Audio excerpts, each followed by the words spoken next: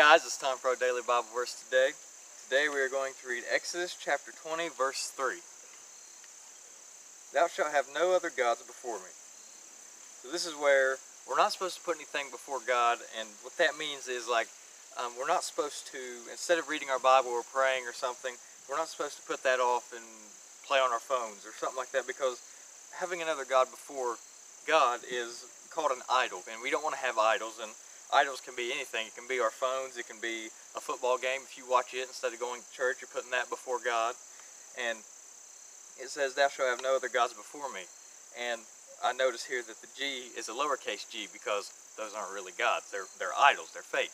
And when you talk about God, the real God, the one and only real God up in heaven, he has a capital G.